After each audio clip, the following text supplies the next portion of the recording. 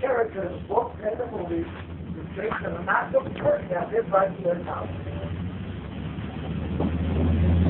I not there. It's like in the book and the movie.